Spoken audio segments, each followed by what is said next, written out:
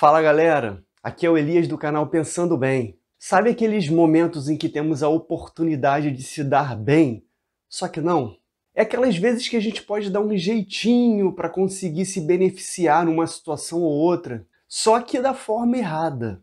O que, que você faz nessas ocasiões? Você se mantém fiel à palavra de Deus? Você busca fazer aquilo que você entende ser o correto? Ou você aproveita a situação e dá aquele jeitinho e dá aquela escapadinha para fazer aquilo que vai te beneficiar de alguma forma ou que vai trazer algum prazer para você, mesmo não sendo certo a fazer? O tema desse vídeo é Deus está vendo. E se você é aquela pessoa que está sempre aí assistindo meus vídeos, mas nunca se inscreveu no canal, ó, Deus está vendo, hein? Vamos embora pro vídeo.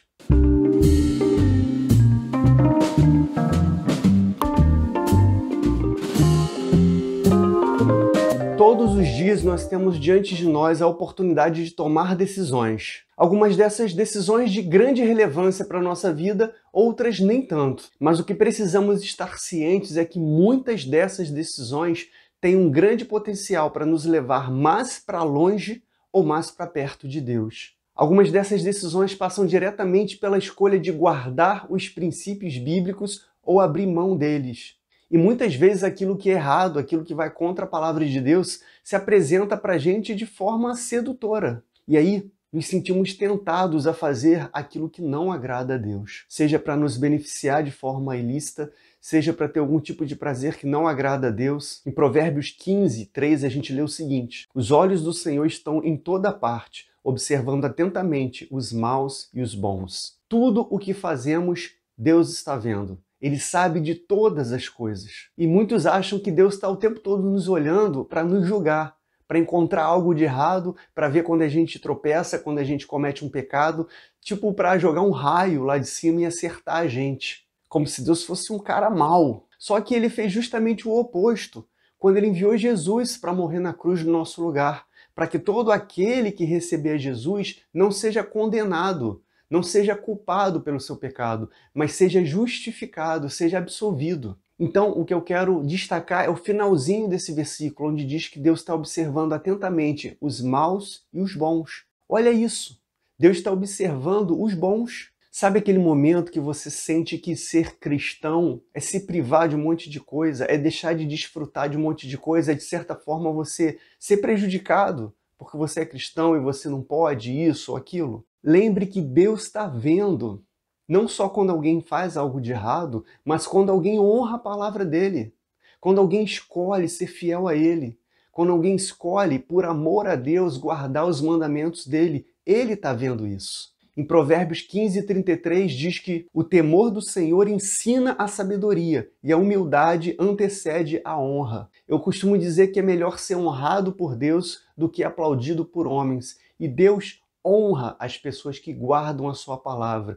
Deus honra aquele que escolhe fazer o que é certo. Galera, entenda que sempre vale a pena fazer a vontade de Deus, guardar o seu mandamento, escolher fazer aquilo que é correto diante de Deus, por mais sedutora que seja a proposta do mundo. Hebreus 13:18 diz: Orem por nós, estamos certos de que temos consciência limpa e desejamos viver de maneira honrosa em tudo. Às vezes, queremos alcançar um objetivo até nobre, mas de maneira errada, agindo como se os fins justificassem os meios, fazendo coisas erradas ao longo do processo, dando um jeitinho, e aí a gente corre um grande risco de se queimar por estar fazendo algo que não é correto e ainda não alcançar o nosso objetivo, porque Deus não vai honrar, Deus não vai abençoar aquilo que é feito de maneira errada. A pessoa que escolhe dar um jeitinho e fazer as coisas de maneira errada, ela está por conta própria.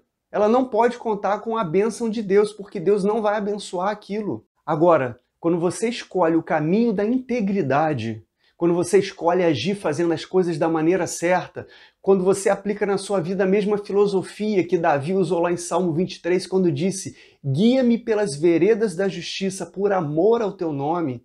Quando você escolhe fazer o que é certo por amor a Deus, ele honra, ele se responsabiliza pelo seu sucesso, porque você está guardando a palavra de Deus. O próprio Deus vai fazer com que você seja bem sucedido, como está escrito lá em Romanos 8, 28 e sabemos que todas as coisas contribuem juntamente para o bem daqueles que amam a Deus, daqueles que são chamados por seu decreto. Não são algumas coisas, uma coisinha ou outra que contribui para o bem daqueles que amam a Deus.